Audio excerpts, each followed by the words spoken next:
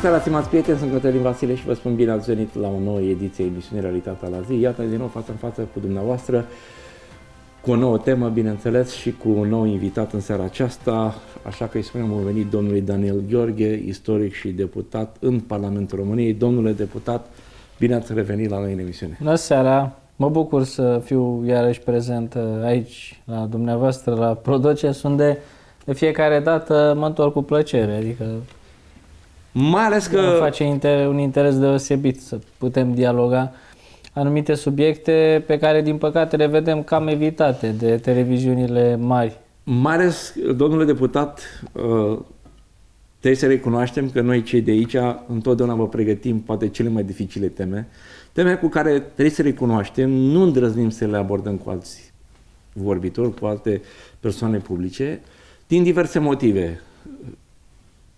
A, câteodată și noi trebuie să fim corect politic, da, corect politic, și trebuie să recunoaștem că sunt subiecte pe care, uh, deși ne-am fi bucurat să le tratăm și cu alții, uh, câteodată nu îndrăznim să-i abordăm sau câteodată suntem refuzați uh, atunci când invităm să discutăm o problemă de ordinul acesta. Și un exemplu practic ar fi subiectul din seara aceasta, și anume vorbim despre un subiect care a ținut, să spunem așa, titlurile presei online și nu numai a, a televiziunilor și a tot ce înseamnă mass media. Vorbim despre Muzeul Chiciului, da? între pseudo-artă și propaganda anticreștină. Subiectul acesta al anticreștinismului, a persecuției, a problemelor acestea care uh, văd că tot se amplifică în, uh, în România și nu numai în România, dar întotdeauna am plecat de la, să spunem, de la o gradă apropie, ceea ce o să facem în seara aceasta, vedem că se amplifică din ce în ce mai mult, sub diverse forme, fie că în mod direct, fie sub, uh, uh, să spun așa, forme dintre acestea uh, frumos cosmetizate, fie că e artă, fie că e, știu, cultură sau falsă cultură, întotdeauna se află câte o capcană, câte un atac așa sub centură, uh, fie la slujitorii bisericii, fie la comunitatea creștinească din România și mai mult chiar la simbolurile bisericii. În seara aceasta vom vorbi despre uh, ceea ce și dumneavoastră a semnalat, a, cred că a fost printre primii la care am citit în mod uh, uh, public pe pagina de Facebook despre ceea ce a semnat muzeul. Au fost uh, persoane din societatea civilă care au semnalat uh, înaintea mea și chiar aș vrea să subliniez aici faptul că Asociația Neam Unit a fost prima care a semnalat uh, acest aspect, dar din politică am fost primul care a intervenit pe această chestiune. Poate nu știu eu, dar uh, nu-mi dau seama să fi avut cineva o reacție mai rapidă, dar nu, nu acesta este subiectul. Chiar uh, atunci am fost șocat să văd am văzut uh, pe mai multe pagini de Facebook, unele aparținând uh, anumitor uh, organizații cu caracter creștin sau apropiate de cultele religioase și am văzut chiar și în presă preluată tema imediat, foarte rapid și cred că este un fenomen pe care îl trăim în această epocă a postmodernității. Arta care decade, arta ca ramorisment intelectual și arta ca propagandă. Uh, după cum ați văzut, inclusiv în Parlamentul României, ne confruntăm cu tot mai multe persoane care n-au nicio profesie, nicio ocupație, dar ei sunt activiști. Până și în Guvernul României, să mă ierte de cine ne aude, de fapt să nu ne ierte nimeni, sunt persoane care, iată, în ultimii ani am văzut, care nu au, nu ne dăm seama cu ce se ocupă sau ce profesie au sau care este activitatea lor de bază. Însă în artă este foarte evident faptul că postmodernismul artistic este o expresie a deconstructivismului și a decadenței ridicată la un rang, să zicem, gvasii religios. Și nu sunt deloc mirat, pentru că la fel cum avem uh, în spațiu public activistul care țipă tot timpul hoții, hoții, pentru că el de fapt are în subconștientul său instinctul de a fura și te acuză pe tine celălalt că ai furat, la fel vedem uh, și în artă același lucru. Aici avem arta ca militantism. Militantism ideologic anticreștin. La fel cum în mediul judiciar ca să am vorbit de mediul politic, am vorbit de mediul intelectual, vorbim și de mediul judiciar, nu doar de mediul politic, intelectual, artistic. Avem așa numiții uh, judecătorii activiști care dau anumite verdicte, după cum am văzut și noi, de exemplu, chiar până la mergând până la Curtea Europeană a Drepturilor Omului. Verdicte care sunt uh, uh, împănate sau chiar în substanța lor uh, imprimate cu dogme ideologice dintre cele mai dubioase sau chiar dintre cele mai extremiste. Un fapt care nu are nimic în comun cu ceea ce înseamnă exercițiul dreptului și ceea ce înseamnă statul de drept. Apoi, arta, după cum știm, a decăzut de la a fi o expresie a bunului simț, uh, acela despre care amintea chiar uh, mare liberal Alexandru Paleologu, să fie uh, expresia conștientului aplicat al intelectului care încearcă să copieze absolutul, pornind de la nivelul limitat și restrâns al omului, arta nu mai este expresia excepționalului, nu mai este expresia ineditului în sensul, să spunem, cel mai erudit al sensului, ci arta este astăzi doar o, o chestiune de propagandă. Deci hai să vă spun, noi acum, din păcate artistic, uh, hai să o spun sincer acum, ar, ar, ar, arta postmodernă e aproape zero, cu mici excepții a unor creatori de valori autentici, care la rândul lor moștenesc școli intelectuale, școli artistice și școli de gândire anterioare care au ajuns la un anumit stadiu de evoluție și al cărui stadiu de evoluție de astăzi este aplicat la noua dinamică și dialectică a lumii actuale și sunt câteva cazuri, de aceea nu doresc să generalizez, în momentul de față arta este manifest. Este manifest, pur și simplu. Uh, este banana lipită cu leucoplast pe, pe perete. Exact. Este capacul de wc desenat cu carioca. Este, într-o variantă și mai sinistră, poneiul roz cu svastică în zona dorsală. Aici a ajuns arta. Țin minte că era totul un uh, personaj din acest așa zis articol care fă, făcusese la un moment dat o chestiune hidoasă încercând să imite crucifixul, uh, lipise niște bucăți de, uh, de șorici sau o chestie dintre aceasta sinistră. Dar ceea ce am văzut la molul Lafi este o rușine, este o obscenitate publică în realitate acolo vorbim de un mesaj diseminat foarte perfid, uh, sub masca unui muzeu al chiciului se transmit niște mesaje subliminale anticreștine pe față. Pentru că mesajul esențial care decurge de acolo nu este, iată, și în spațiu religios există elementul chici și există un anumit element care dăunează implicit cultului, că spun sincer, eu sunt uh, un om pasionat de arta creștină, indiferent de cult, indiferent de denominație, indiferent de vechime. Dar nici mie nu-mi plac 10.000 uh, de culori sau anumite uh, chestiuni care seamănă cu perdeluțele de la geam din perioada comunistă. Dar ceea ce, ce am văzut acolo este altceva. E un manifest. Uh, erau culorile curcubeului. Evident, putea să lipsească curcubeu? Nu. nu.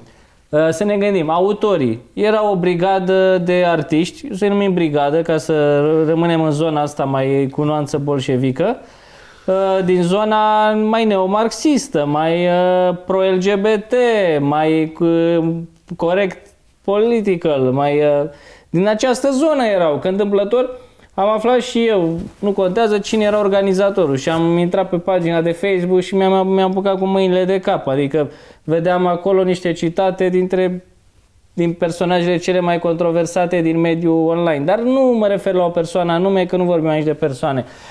Vreau să spun că acolo a fost, evident, fără doar și poate, un atac la adresa simbolurilor creștine. Camuflat foarte bine. Dar iată că vigilența românului nu a scăzut și chiar vreau să-i felicit pe cei care au sesizat public acest lucru. Vreau să le mulțumesc celor care mi-au scris și celor care mi-au transmis oameni buni români de ai noștri din societatea civilă creștină din România și care mi-au atras și mie atenția. Prima dată am crezut că nu văd bine, dar am văzut care era de fapt mesajul esențial acolo pentru un privitor care nu este atent la nuanțe sau care pur și simplu e de bună credință și zice hai să dăm și noi o tură la muzeul ăsta al Chiciului, la rubrica respectivă care privea spațiul uh, bisericesc, uh, pur și simplu se încerca uh, transformarea chiciului dintr-o excepție care nu are legătură cu cultul, nu are legătură cu doctrina credinței, nu are legătură cu simbolurile fundamentale, într-un fel de numitor comun, într-un fel de expresie esențială a întregului cult religios. Uh, practic, noi acum puteam să mergem acolo până la faptul să fie menționate drept chiciuri toate lăcașele de cult, toate simbolurile religioase creștine, toate uh, expresiile de natură inclusiv de inventar uh, tehnic până la urmă, de venit de la îmbrăcăminte, de la felul în care este organizată o procesiune religioasă. Apoi, un alt aspect uh, deosebit de mm, strigător la cer a fost uh, batjocura la adresa Sfintei Cruci. Dacă vedeați inclusiv uh, uh, acel, să-i spunem, uh, acel afiș, anunț cu privire la Muzeul Chiciului, la litera T avea stilizată o cruce de aur uh, foarte așa opulentă și strălucitoare. Deci, practic, asta înseamnă crucea. Nu mai este obiectul durerii și al suferințelor, o acel obiect de tortură inimaginabilă, însuflețit și sfințit prin sacrificiul lui Hristos Dumnezeu pe cruce, este doar un obiect de inventar și de ce tip de inventar? Un inventar uh, nefrecventabil dintr-o zonă de periferie a societății, dintr-o zonă a chiciului, dintr-o zonă a urâtului, ca să o spunem uh, de-a dreptul. Deci aici este de fapt uh, elementul fundamental. Noi trebuie să vedem aceste nuanțe și să le sesizăm. Și practic, inclusiv definițiile care se dădeau acolo, erau într-o nuanță nu neapărat ironică. Eu, de exemplu, sunt un om, mie îmi place să fiu ironizat. Uh, în activitatea mea politică, câteva din practic momentele de apariție în presă care m-au amuzat cel mai tare și pot să spun chiar m-au bucurat un pic, a fost când m-am trezit citat în uh, Academia Cațavencu la bula demnitarului. Și eram citat cu niște afirmații pe care le-am făcut de la tribuna Parlamentului. Sper că și pe viitor uh, voi mai apărea din când în când, nu prea des că nu dă bine, dar din când în când e bine să apare acolo. Deci nu a fost vorba de o ironie. Nu a fost vorba de uh, sublinierea unor tușe prea groase care pot apărea câteodată. Nu a fost vorba de anumite excepții nedorite sau care sunt marginale uh, cultului religios ortodox ori de alt tip, ci a fost o chestiune foarte bine îmbrăcată, ca să vă spun sincer, părerea mea că lucrurile au fost gândite în așa manieră încât de fapt elementul esențial al, al întregii expoziții erau, era secțiunea, reali, secțiunea care arată de Biserica Ortodoxă și de cultele creștine. Aceea era de fapt, de fapt secvența esențială din întreg acest expozeu bizar și uh, Acolo, de fapt, era punctul de, să-i spunem, de amplitudine maximă al interesului și autorilor în zona respectivă. Pentru că uh, mesajul subliminal nu era unul nici umoristic, nu era nici amuzant, uh, nu mai spun artistic, adică nu solicita în niciun fel uh, nici măcar uh, periferia scoarței cerebrale, nu stimula simțurile adânci ale omului, și nu putem vorbi de lucruri care să meargă la sufletul privitorului sub nicio formă, adică nu vorbim de niște capodopere ale picturii uh, clasice ori moderne. Domnule deputat, știm că arta presupune, bineînțeles, un anumit uh, frumos, tip de frumos, da? Pe care artistul dorește să-l împărtășească. Vedem că creativitatea acestor ideologi, că până la urmă nu putem să le spunem artiști, vorbim de clar, o pseudo-artă, uh, uh, un mod brutal de a prezenta arta. Deci mari artiști ar fi jenați să se asocieze cuvântului acesta de artă așa cum a ajuns el până în zilele noastre.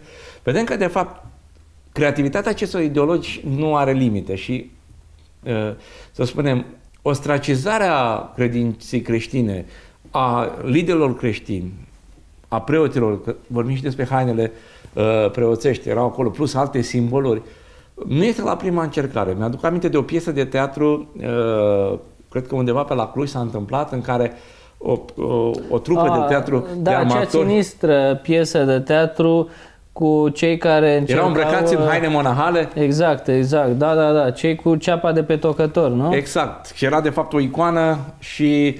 Doamne ferește. Te deci iau ceapa fost, pe... Uh, nu, astea sunt niște acte evidente de blasfemie. Hai să nu ne ferim de cuvinte. Oricât ar părea de ciudat, oricât pare de incorrect politic ceea ce spun acum. Arta înseamnă creație. Creația înseamnă mental superior. Mentalul superior înseamnă ceea ce, ceea ce conectează particularul cu universalul, ceea ce conectează profanul cu sacru. Deci nu poți să te duci să faci artă. Asta e o batjocără în stilul realismului socialist. Dacă ține minte atât fascismul și nazismul pe de-o parte, cât și comunismul și bolșevismul de orice tip, toate curentele acestei ideologii totalitare, au încercat să creeze mitul supra omului și să ideologizeze până la absurd arta, acum avem arta neomarxistă, arta asta care dărâmă, arta care contestă, arta ca insultă, arta ca atac la orice element de natură identitară. Și revin asupra expoziției de la Afi Cotroceni, acolo, uh, miza autorului, după părerea mea, uh, eu în liceu, fac o mică paranteză, am fost și un uh, critic de artă, să spunem așa, cât de cât uh, și am, am interpretat foarte des anumite elemente de înțelegere a expresiei artistice. E o chestiune pe care n-am mai exersat-o, dar câteodată uite că e bună că te mai prinzi de anumite lucruri. Arta, acolo nu era artă, era o pseudo-artă sau anti-artă, ori sub-artă e mult spus, că nu există sub-artă, există Sunt obiecte asociate, puse la oaltă? Da, o chestie care poate să o facă absolut oricine, și o chestie însă cu, un, cu o încărcătură ideologică foarte puternică. Ce însemna acolo? Biserică egal chici, preoți uh, egal uh, paria ai societății, niște oameni uh, inutili de care nu avem nevoie sau care fac anumite lucruri poate chiar ilegale, uh, creștini înapoiați, retrograzi, știți, teoria evului mediu și alte prostii care circulează în spațiu public, iar religia, las-o acolo, mai la margine, las-o acolo, hai, nu, noi avem treburi serioase. Asta este, asta este, asta este, acesta este mesajul real. Și acesta este mesajul pe care mă bucur că românii au înțeles și au văzut. Și au fost șocați de aceste lucruri. Pentru că de fiecare dată când lucrurile le lăsăm așa treacă meargă, vom vedea că următoarea provocare va fi și mai dură. Următoarea provocare poate să ne atingă însuși chiar pe fiecare dintre noi. Domnule deputat, uh, uh, știu că sunt și istorie și cunoaște din istoria lumii și în special istoria creștinismului că lucrurile acestea au fost uh, mereu de-a lungul atacului asupra bisericii, au fost încă de la nașterea bisericii, da? vorbim de primul secol. Dar ce vreau să uh, scoatem în evidență și vă rog să uh, uh, completați dumneavoastră este faptul că dacă la nivel, să spunem, legislativ încă nu se poate, s-a încercat supraimpozitarea bisericii, da? Încă se încearcă. Uh, întotdeauna se scoate în față că biserica nu plătește taxe. Știți că în realitate, uh, spre exemplu, biserica ortodoxă a dat la, la bugetul de stat prin uh, sumele rezultate din activități proprii, activități și prin lucrările pe care le derulează, o sumă care depășește suma pe care Secretariatul de, de stat de, stat de culte, culte prin, prin, uh, da, luat prin la Ministerul Finanțelor. Biserica și Ortodoxă Română este cel mai mare furnizor de servicii sociale din România. Absolut, de departe. Da? Numai în pandemie știi că s-au dat peste 4 milioane, cred că 5 milioane de dolari uh, sau de euro. Cred că sumele până la urmă depășesc 5 uh, milioane de euro, valoarea tuturor donațiilor și valoarea tuturor bunurilor pe care biserica le-a pus la dispoziția spitalelor și personalului sanitar și tuturor bolnavilor. Deci Biserica Ortodoxă Română și celelalte culte, dar în special Biserica uh, Ortodoxă Română, oferă niște servicii extra, practic completează ceea ce statul e incapabil să acopere, da? Protecție socială, educație, vorbim de îngrijirea copilor orfani, vorbim de activitățile acestea uh, ale mamelor în crize de sarce. Sunt o grămadă de activități. Îngrijire paliativă, sunt o grămadă exact. de cete care au grijă de oameni care sunt pe moarte, o grămadă de activități. Nu mai vorbim de ajutorările acestea, de construcții, renovări, utilarea spitalelor, etc., etc. Și dacă în mod, prin uh, cadrul acesta legislativ, care s-a încercat, știți și dumneavoastră, uh, forțarea și punerea bisericii oarecum sub autoritate, uh, reducerea fondurilor, supraimpozitarea. Da, asta cu e, e supraimpozitarea, că m-ați folosit termenul corect aici.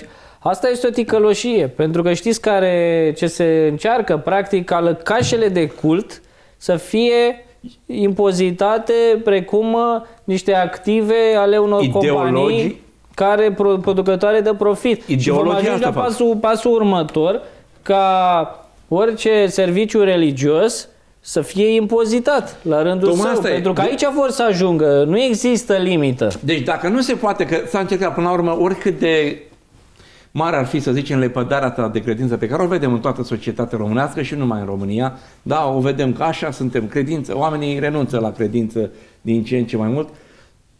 Deși se întâmplă fenomenul acesta, deci e un fenomen generalizat, totuși așa a făcut Dumnezeu prin oamenii care au fost până acum prin Parlamentul României, prin diverse comisii Uh, nu s-a ajuns la această supraimpozitare și am spus termin aceasta pentru că deja biserica este foarte clar plătește impozite. Să terminăm odată cu gluma aceasta că biserica nu plătește impozite. Ba din potrivă. Uh, și face mai mult decât uh, uh, ar trebui să facă. Da? Bun. Supraimpozitare. Atunci ce se poate face? Se încearcă lupta asta de gherilă la, exact. la baza credinței și atunci singurul uh, mijloc pe care îl pot avea sub masca aceasta libertate de, exprima, de exprimare. Acum, Domnule deputat, până la urmă, unde se termină libertatea de exprimare? Că dacă îi întrebăm pe respectivii organizatori, zice arta, și am definit clar că e păi, pseudo-artă, exact. și apoi libertatea de exprimare. Pot să zic ceva oricând vreau și să jigni pe oricine, pentru că nimeni nu poate trage la răspundere. Da, așa este, pentru că orice libertate și libertatea în esența sa presupune responsabilitate. Uh, nu există libertate de tip anarhic Ă, libertatea presupune atât drepturi cât și datorii și obligații pentru fiecare cetățean, pentru instituții și pentru însăși corpul social. Și un element foarte important, ă, libertatea ta se oprește acolo unde calci pe libertatea celuilalt. Deci dreptul tău la libertate nu poate încălca alte libertăți. Așadar, dreptul tău de a-ți imagina artistic orice caricatură pretinsă artistică, dar cu o valoare zero, hai să o spunem sincer, să lovește în momentul în care tu atentezi la libertatea religioasă, libertatea de conștiință, eh, libertatea de eh, exercițiu de cult, libertatea eh, credinței în fond. Sunt, sunt dând exemplul Deci nici particular. măcar motivația aceasta nu, a libertății nu, nu, nu stă în picioare. Nu există. Uh, pe această motivație putem gândi că, iată, există libertatea mea să conduc cu 250 de km la oră prin București. Sau este libertatea mea să beau 5 sticle de whisky și să mă urc la volan. Deci, cam în această dialectică mergem. Trebuie să înțelegem că suntem uh, toți aici într-o omenire, fiecare avem dreptul la demnitate umană, uh, fiecare trebuie să respectăm pe celălalt, nu trăim doar noi singuri, nu există această libertate a face a bunului plac, nu există libertatea aceasta a disprețului de dragul disprețului și nu există libertatea de a face rău de plăcere. Vă dau un exemplu, nu știu, poate uh, cineva simte nevoia să spargă niște geamuri cu piatra. Putem justifica și asta, că e o formă de libertate de expresie sau o formă de artă postmodernă, pentru că cioburile respective și piatra în zbor, surprinsă de camera, de telefon, camera video de pe telefon, reprezintă tot o expresie artistică. De aceea vă spun că este o mare cursă, dar oamenii nu mai cred și nu mai pot fi așa ușor de păcălit cu astfel de texte care pe undeva sunt uh, depășite și de fapt provin din același uh, mediu de gândire al uh, veșnicei revolte împotriva tuturor și împotriva însuși creatorului și a creației în același timp. Așa este. Domnule deputat, cu dumneavoastră îndrăznesc. Mă simt liber să ridic puțin ștacheta discuției uh, în ceea ce privește atacul, în special asupra Bisericii Ortodoxe. Spun că este un atac clar anticreștin, dar în mod special majoritatea atacurilor care vin din zona aceasta ideologică sunt împotriva Bisericii Ortodoxe Române. Și acum stau și mă gândesc, eu fiind evanghelic, da, mă gândesc, domne, care este pericolul acesta pe care îl reprezintă Biserica Ortodoxă? De ce Biserica Ortodoxă Română este mult mai atacată decât restul celelalte confesiuni? E foarte simplu. În primul rând, Biserica Ortodoxă Română este cea mai numeroasă biserică din România și cea mai puternică sub uh, toate aspectele, cea mai puternică din uh, perspectiva infrastructurii religioase de care beneficiază, a organizării, a resurselor, a influenței, a influenței este cea mai puternică biserică. Uh, întotdeauna știm foarte bine că atunci când vii și ataci o cetate, ținta este să ucizi căpetenile și cei care strâng oamenii în jurul lor, pentru că pe restul cei care sunt mai mici îi mai poți prinde sau îi mai poți șantaja și în altă manieră. Iar atacul la Biserica Ortodoxă este un atac la identitatea națională a poporului român, este Aici. un atac la istoria acestui popor și un atac la sufletul României. Uh, Biserica Ortodoxă Română, să nu uităm, a fost cea, este cea datorită căreia noi astăzi vorbim o limbă unitară.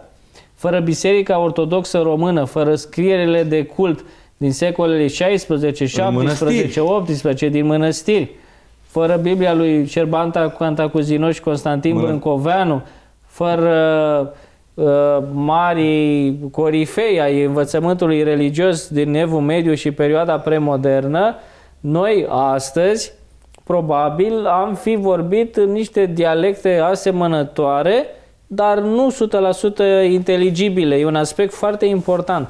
Apoi, Biserica Ortodoxă Română a fost uh, prezentă în toate momentele importante. Biserica a fost la greu, alături de popor, a fost alături de domnie în timpul luptei cu uh, invazia islamică, cu Imperiul Otoman. A fost uh, alături de uh, eroi care au reușit unirea de la 1859 și apoi actul independenței 1877, un marea unire de la 1918. Acolo un rol foarte important. Biserica are un rol fundamental. Acolo trebuie menționată și Biserica Română Unită cu Roma. Acolo atât ortodoxi cât și catolicii au vrut să găsească unitatea și toate cultele religioase au venit în întâmpinarea dorinței de reîntregire națională a românilor manifestată la Alba Iulia în 1 decembrie 1918. Biserica, prin toate cultele sale, prin toate cultele, a reprezentat o frână în calea bolșevismului și în calea regimului totalitar comunist. Au fost eroi și martiri în închisorile comuniste de, de toate cultele, adică putem uh, enumera aici de la Vladimir Ghica și Richard Wurmbrand până la Părintele Calciu Dumitreasa sau uh, până la marii duhovnici ai uh, Bisericii Ortodoxe Române, Sfântul Chisorul, Valeriu Gafencu, uh, Iuliu Hosu alături de Frenciu, Suciu, de toți episcopii uh, catolici. Deci au fost uh, Durcovi, romano-catolic, au fost și dumneavoastră evanghelicii, ați avut mărturisitori ai credinței și ați avut și luptători anticomuniști uh, excepționali. Biserica Ortodoxă, la rândul său, uh, a dat uh, o probă de foc în anii 50, să nu uităm și momentul închiderii uh, mănăstirilor, să nu uităm uh, o serie de etape pe care, pe care le-a, le parcurs Biserica Ortodoxă Română și cred că noi toți, cei care înțelegem ce înseamnă dimensiunea creștinismului românesc, iată, uh, lotul Rugu Aprins din 1958, un moment extraordinar cu părintele Sofian Boghiu, părintele Nicolae Bordașiu, uh, alte personalități culturale, gen Vasile Voiculescu, au fost foarte, foarte multe aceste nume, inclusiv în alții ierarhii. Bartolomeu Anania a fost unul din ierarhii importanți de după decembrie 1989, care a trecut prin uh, infernul reeducării comuniste, așa zise reeducări. Deci, uh, practic... Uh, a reprezentat un pilon, Biserica Ortodoxă a reprezentat și reprezintă în continuare, dar cel puțin istoria recentă a României s-a remarcat ca pilon de menținere în prima unității naționale, a spiritului acesta de luptă, de rezistență. Până la urmă, oamenii, când nu mai au nicio speranță, singura lor speranță rămâne Dumnezeu și biserica. A fost locul acela unde fiecare și-a mai găsit pacea, uh, încurajarea, uh, dragostea aceea de care au dus lipsă în perioada aceea de prigoană, că până la urmă era comunismul a fost da. o perioadă de prigoană. A da? fost o perioadă de, de mare prigoană. Uh, să, să și nu putem să-i luăm... E, și atunci acești ideologi, te rog să mă crezi, eu nu pot să le zic organizator, le nu, zic ideologi, ideologi, ideologi uh, știu că este un, un subiect atât de sensibil și se încearcă practic demontarea acestor uh, uh, piloni ai națiunii române, inclusiv prin Biserica Ortodoxă, da? Pentru că știu că în momentul în care vor îngenunchea biserica, știm că nu vor putea face lucrul acesta, asta știm din Sfânta Scriptură da. și nu trebuie să ne, ne, uh, ne punem îndoiala vreodată, să ne îndoim vreodată că biserica ar putea fi îngenunchiată. Trecut prin probleme, da, s-ar putea, dar să, asta spune nici locuința morților. Nici porțile locuinței morților nu vor putea dărâma da, biserica. Ne gândim, aici așa este. Uh, regimul comunist uh, reprezintă o etapă incredibil de, de dură pentru toate cultele. Deci de la marele teolog Stăniloae și... Cel mai mare teolog al exact, românilor. Exact. Și părintele Arsenie Boca, foarte iubit în rândul credincioșilor uh, ortodoxi, până la Richard Wurmbrand, cel care a ajuns în Până în Congresul Statelor Unite. În Congresul Statelor Unite, unde și-a arătat rănile căpătate da. în uh, închisorile comuniste. Noi avem o zonă de mărturisire creștină absolut fabuloasă. Și mă gândesc, uite, personaje precum uh, Monsignorul Vladimir Ghica a murit în închisorile comuniste. Deci oameni care au devenit sfinți prin, uh, prin măsura sacrificiului pe care l-au dat. Iar aici cu toții, în fața rezistenței anticomuniste, cu toții suntem frați într Hristos și rămânem frați într Hristos, indiferent de cultul căruia îi aparținem. Și e, e foarte clar de ce se atacă Biserica Ortodoxă. Știu foarte bine că dacă vor distruge Biserica Ortodoxă, restul va fi mult mai ușor.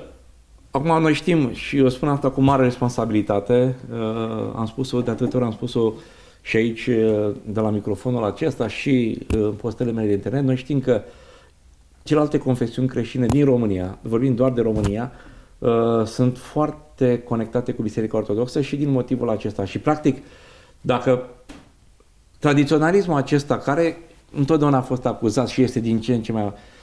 Pentru unii a reprezentat o problemă, pentru noi evanghelici nu, pentru că am putut rămâne conectați Uh, comparat cu vestul evanghelic. Vorbim de vest, de țările din vest, chiar Statele Unite, am rămas uh, țările care uh, poate au fost mai tradițional evanghelice, și aici vorbesc de Germania, vorbesc și de uh, alte uh, uh, țări, da, vorbim de țările nordice, Suedia, de exemplu, să ne, să ne amintim că Suedia a plătit răscumpărarea lui Wurbrand, da? Da. Ei, cum e acum Suedia și cum era acum 50 de ani. E o, e o, e o transformare imensă. A, din punct de deci, practic, da. acum este, o, este într-o apostazie uh, generalizată. E, vreau să spun următorul lucru. Noi, cultele evanghelice, suntem dependenți de ceea ce se întâmplă în România și în momentul în care Biserica Ortodoxă este atacată, pentru noi doar așa, un, suntem ca un firicel de iarbă, știm că uh, uh, suntem dependenți și de aceea luăm poziție, pentru că, indiferent că a fost problema linguriței, hai să o luăm puțin, fie că a fost da, problema... Păi nu, întotdeași se găsește o problemă. Dacă nu există, se inventează, care este definiția fie problemei. Nu avem nimic uh,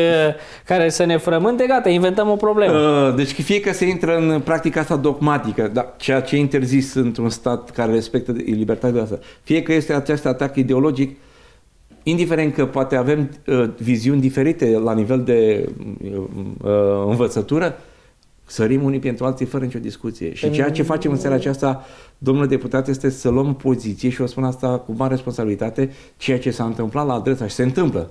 Bănuiesc că nu se vor opri aici. Este un atac și la care fiecare, și acum chiar vreau să eu mi-am spus ceea, ceea și ceea ce doresc să fac și o fac cu mare bucurie, o facem împreună în seara aceasta, E, ce trebuie să facă ceilalți creștini? Pentru că spuneați că ați aflat de la cineva care a trecut pe acolo, a făcut câteva poze Da, și v-a informat. așa am aflat. Așa Bă, am nu aflat. că au mai trecut câteva alți sute, zeci, poate mii da, de au oameni trecut mii, dar uh, care n-au, n-au fost... care uh, nu au fost atenți sau care poate spre norocul lor nu au văzut. Indiferența Așa- aceasta ne omoară. Da, indiferența ne omoară. Indiferența e cea mai mare boală din uh, societatea românească, trebuie să o recunoaștem. Bun, noi suntem societatea civilă. Îmi place să cred că Protocens face parte din societatea civilă creștină care ia atitudine atunci când se întâmplă câte o lucru. Acum lucrăm reactiv, dar noi știm că o facem și proactiv. Lucrăm pe câteva fronturi. Sunteți o persoană publică. O faceți asta de la tribuna Parlamentului și o faceți cu mare putere și vă rugăm să o faceți în continuare, indiferent de O ce se va voi întâmpla. face în continuare, vă asigur de asta și cum am promis în actualul mandat o să jucăm românește frumos, pune mingea jos, gata, s-a terminat cu jumătățile de măsură. Bine, la mine au fost niciodată jumătăți de măsură, dar de data asta spunem lucrurilor pe nume, la fel ca și până acum, fără Vă nicio întrebam teamă. data trecută dacă vă aduceți aminte de emisiunea aceea preelectorală uh, în care am discutat, erau emisiune de la distanță. Uh, Vă întrebam și eu știam deja, dar am vrut să aud încă o dată, eu și cei care ne ascultau, încă o dată, ce veți face în momentul în care uh, libertatea religioasă iar va fi atacată uh, sau știu eu, biserica va fi atacată pur și simplu pe nedrept, Da. da? Fără... Veți avea curajul să mai ieșiți în față, să Păi, vă asumați... Cu mare bucurie. E un lucru care mă face să mă simt util. Și mă face să mă simt foarte bine, să apăr biserica, să apăr valorile creștine, să apăr bunurile oamenilor, să apăr demnitatea noastră națională, să sar în ajutorul celor aflați în uh, dificultate. Sunt lucruri care mă fac chiar să mă simt bine și care fac, cred că pe undeva uh, fac parte din uh, fișa postului mult mai mult decât uh, prezența la anumite evenimente sau uh, alte activități pe care unii le-ar putea considera foarte importante. Și vreau să vă spun că aceste lucruri le voi face în continuare și de la tribuna Parlamentului voi lua cuvântul foarte des cu privire la valorile creștine și cu privire la apărarea identitară a națiunii noastre.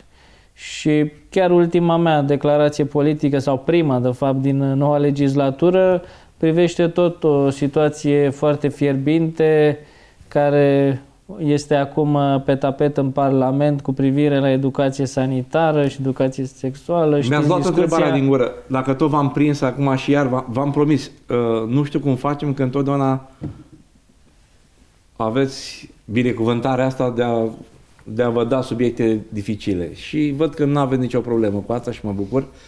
Până la urmă, am reușit să o amânăm, amânăm, amânăm. Uh, S-a întors în Parlament.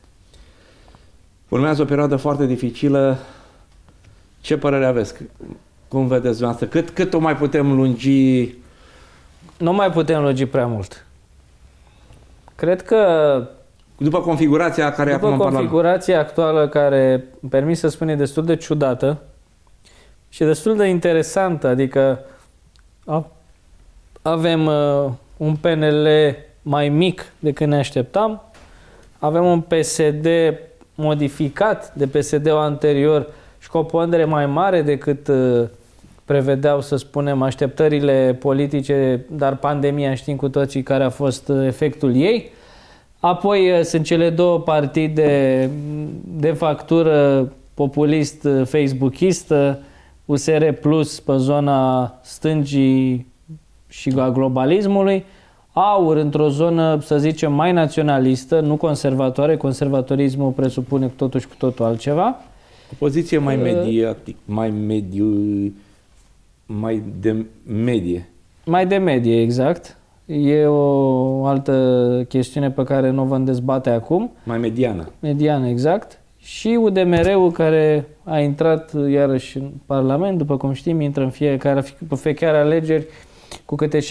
Acum, noi, PNL-ul, noi suntem cei care am stat la baza inițierii acelui amendament uh, buclucaș care a, a pus pe jar uh, toate rețelele acestea de influență ale noi stângi de la noi din țară. Scrisori din partea universităților. Da, nu știu, sunt niște universități care nu dau seama cu ce se preocupă pentru că merte Dumnezeu, dar văd și eu ce vine din uh, respectivele universități și mai groază. Absolvenții. Adică, Adică am ajuns să zic, domne, vreau să mai văd și eu un om cu o școală profesională bine făcută, că de absolvenți de masterate, doctorate și licențe pe la universități mandicoase sunt sătul până peste cap, la, la ce văd ce vine în ultimii ani. Și problema nu este la studenți, nu este la tineri, problema este la cadrele universitare, care, părerea mea, luând-o de la 1860 până astăzi, sunt în punctul cel mai de jos la care au fost vreodată. Niciodată învățământul universitar românesc nu a fost mai jos decât este astăzi. Au devenit ca și trusturile de presă, oarecum... A devenit ceva uh, trendy, comercial, care se ia după cum bate vântul și ceva unde cunoașterea, știința, au devenit uh, secundare sau chiar terțiare în fața ideologiei, în fața modelor trecătoare și în fața intereselor de grup. Școli de îndopitocire. Da. da. Îmi pare rău, am folosit un termen dur. Nu pot să vă contrazic. Noi, PNL-ul, vom susține păstrarea amendamentului respectiv. Din câte cunosc, și la noi în partid, din păcate, spărările împărțite, uh, vedem felul în care va trece respectivul uh, amendament, respectiva lege, care de fapt o lege foarte complexă, care e legată, introduce adopție, introduce o serie de chestiuni noi în ceea ce privește apărarea drepturilor copilului. E o lege foarte bună ea. Dar acel amendament, practic, nu doar că a schimbat uh, sensul întregii legi, ci a schimbat uh, miza dezbaterii legislative privitoare la acest act normativ. Va, sper să treacă de Senat în forma în care a ajuns uh, de la președinție unde a fost retrimisă, să ajungă la cameră și să treacă intactă la cameră. Mă tem, recunosc, de ceea ce se va întâmpla în Comisia de Muncă de la cameră.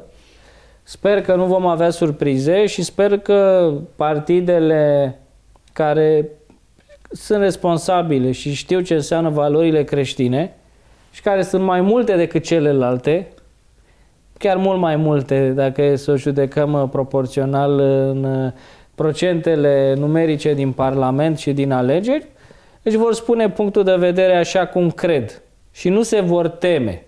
Nu se vor teme. Ceea ce vă spun eu nu este doar punctul meu de vedere. Sunt foarte mulți colegi care gândesc asemenea mie. Dar e foarte important ca în momentele cheie să-ți asumi un vot să-ți asumi un cuvânt, să-ți asumi un gest, să-ți asumi o faptă. Sper, sper că nu vom avea surprize neplăcute și sper că, indiferent de culoarea politică, indiferent uh, de orientarea doctrinară sau uh, ideologică, noi nu vom avea surprize și acest uh, act normativ va trece în siguranță, cu bine și în maniera pe care ne-o dorim cu toții. Eu am afirmat acest lucru public, o să-l mai afirm și nu cred că este nicio problemă să ne asumăm niște valori în care credem. Domnule deputat, uh, uh, ne apropiem de încheiere. Uh, aș vrea să concluzionăm. Nu putem lăsa emisiunea aceasta fără să încheiem și cu o încurajare, cu un îndemn. Știți de ce? Pentru că știu că dumneavoastră sunteți foarte activ, scrieți, uh, faceți declarații politice, răspundeți la comentarii, sunteți un om foarte activ și sunteți clar un uh, apărător al valorilor creștine. O faceți de mulți ani și vă mulțumim pentru locul acesta. Dar haideți să ne uităm și la societatea civilă, la creștinei care formează poporul acesta. Ce ar trebui să facem noi? Pentru că, până la urmă, știți cum e, așteptările n să fie numai din partea noastră către clasa politică. Până la urmă și clasa politică trebuie să aibă așteptări față de societatea civilă, societatea civilă creștină în mod special. Eu am așteptări de la societatea civilă creștină să se implice mai ferm. Să ne mai fie frică, frate, atâta, că nu se poate, adică până la urmă o viață avem, timpul trece, zboară. Oamenii trebuie să se implice, trebuie să-și asume, trebuie să mărturisească, să împărtășească, să se împărtășească alături de ceilalți și să nu se teamă de valorile lor și de credința lor. E atât de simplu și nu trebuie niciun fel de pregătire specială. nu-ți trebuie, nu mai știu eu ce studii sau grade sau nu-ți trebuie nici bani, nu-ți trebuie nici un efort fizic sau intelectual sau financiar. Pur și simplu să spui punctul de vedere, să, să faci poziție. ceea ce crezi, să iei poziție, să stai drept. Să nu fii să stai drept, exact. Pentru că această indiferență, după cum știm, lasă locul pentru cei care au ambiții mari și suflete mici. Iar atunci când vin acești ambițioși de profesie, acești activiști, ei reușesc să câștige centrul terenului, pentru că foarte mulți oameni de bun simț și de bună credință lasă de la ei și se retrag. Și mai dau câțiva pași în spate și apoi se retrag și mai mult, până când întreg terenul aparține acele minorități radical ideologizate care își impune normele și delirurile sale totalitare asupra majorității. Aceasta este, de fapt, problema. Trebuie să învățăm să spunem gata. Foarte frumos, vă mulțumim foarte mult. Trebuie să fim uh, gata să spunem până aici. Până aici. Sau de aici nu Pe se aici mai nu trebuie se trece. trece. De ce? Pentru că... Ca la uh, Mărășești. Ca la Mărășești, mai ales că face parte din identitatea noastră uh, creștină. Oamenii nu înțeleg treaba asta sau știu, poate înțeleg, dar nu o iau în serios. Nu e creștinul, dacă te numești creștin și te consider că ești un urmaș al lui Hristos, prin definiție, așa e inclus în numele ăsta al tău de creștin, de urmaș al lui Hristos, Dom'le, activismul acesta, adică să nu fii indiferent față de rău, cel puțin să te exprimi în mod public, să arăți ce poate să-ți facă, să-ți ia viața. Mulți au murit în arene. Exact, da. Și nu le-a mai păsat de viața lor. N-am ajuns încă la faza asta. Deci degeaba se spune că în România a existat persecuție, încă n-a existat. Vorbim de vremurile, vorbim de vremurile acestea. Și anul trecut au urmă închiderea bisericilor, nu putem. A fost o limitată a libertății, dar nu putem spune că o persecuție. Asta ca să mai închidem gura celor care uh, spun că deja uh, suntem într-o fază de persecuție. Nu, în România nu e persecuție creștină, indiferent dacă ne vaccinăm sau nu. Să țineți minte treaba asta. Uh, da. Poate cu altă ocazie discutăm și, și subiectul acesta. Dar nimeni nu mă împiedică să spun poziția. Atât timp că încă mai putem scrie, încă mai putem vorbi, încă mai putem da e mail apropo, la politicieni, la cei care ne reprezintă. Să nu mai așteptăm. Știți de ce? Pentru că eu mă pun și în, în uh, papucii dumneavoastră, da? De obicei, creștinul confortabil stă în banca lui, în, în fotorul lui și așteaptă ca câțiva, că sunt câțiva, nu putem să spunem, credincioși practicanți care sunt pentru o vreme în Parlamentul României, ca aia să facă totul. Din potrivă, ei nu știu câte lupte sunt în spate și să știți foarte bine presiunea aceea de grup, influențe, scrisori venite de nu pe știu pe unde, exact. de la exact. instituții europene. Exact. Deci o luptă. E, doamne, stimați prieteni, este timpul să facem și noi ceva. Scrieți, vorbiți, luați atitudine. Și asta vreau să spun. Uh, domnule deputat, vă mulțumim foarte mult. Uh, vreau să spun că, fără nicio jenă și fără nicio teamă, în seara aceasta, împreună cu dumneavoastră, am vrut să dăm un semnal, încă o dată un semnal societății civile să se trezească și să nu se bucure de faptul că cineva ia la mișto. Că până la urmă îmi bat jocură ah. simbolul Bisericii Ortodoxe, indiferent dacă ești ortodox sau nu ești. Indiferent dacă știi cumva slujitori care poate nu-și fac treaba sau știu alte exagerări pe care, na, fiecare, în fiecare cult există problemele lui, și da? Dar nu da. se permite ca pe, sub forma aceasta a artei, pseudo-artei și a libertății de exprimare să suportăm absolut orice. Așa este. Și vă rog, vă rog să aveți ultimul cuvânt, uh, să înche- încheiați dumneavoastră cu uh, un gând de final și... Uh, Cred că noi creștinii avem datoria de a fi uniți și de a răspunde chemării pe care o avem și de a răspunde în altei datorii de conștiință morală pe care să o presupune credința noastră. Și, sincer să fiu, tot apelul pe care doresc să-l fac este unul la implicare, la mărturisire, la asumare și la afirmare. Nu mai putem sta să așteptăm. Trebuie să spunem clar cine suntem, ce dorim și cum putem face ca societatea românească și ca lumea în ansamblu său să funcționeze după legile firești, după legile binelui, că acestea sunt legile pe care Dumnezeu le-a, le lăsat uh, omenirii. Ca atare, vă mulțumesc uh, și eu pentru, pentru invitație și sper că vom rămâne cu toții puternici în valorile noastre și în principiile noastre și Dumnezeu să binecuvânteze România și Dumnezeu să ne dea puterea de a vedea niște timpuri mai bune, mai drepte și mai așezate în care să putem clădi lucruri care să rămână peste timpuri. Vă mulțumim, domnule deputat. Stimați prieteni, vă mulțumim și dumneavoastră, vă mulțumim că și de data aceasta ne-ați primit în casele dumneavoastră. În seara aceasta am discutat despre Muzeul Chiciului între pseudo-artă și propaganda creștină. Îi mulțumim domnului uh, deputat Daniel Gheorghe. Până data viitoare, noi vă spunem la revedere!